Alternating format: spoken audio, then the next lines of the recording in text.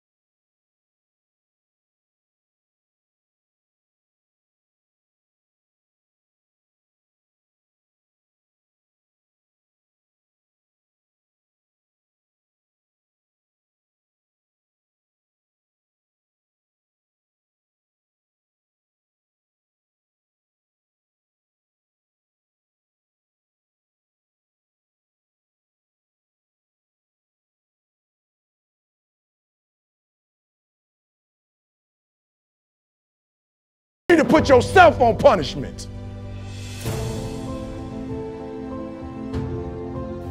Recognize the excuses are not valid. They aren't. They're trumped up. They're conjured up. They're fabricated. They're lies. And how do you stop the lies? You stop the lies with the truth. The truth. The truth will set you free. The truth will stand and the truth will deliver you from procrastination and laziness and the downward spiral that comes with a lack of discipline. So don't believe the lies, believe the truth. And the truth is, you have time. You have the skill, you have the knowledge and the support and the willpower and the discipline to get it done. Cast out the lies, burn them down.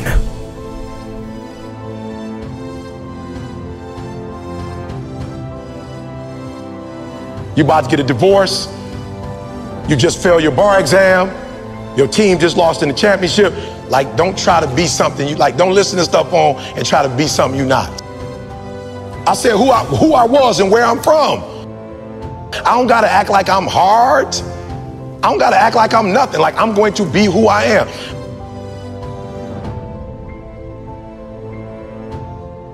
Getting successful, whatever you consider successful, if it's rich, whatever, it's not a magic trick.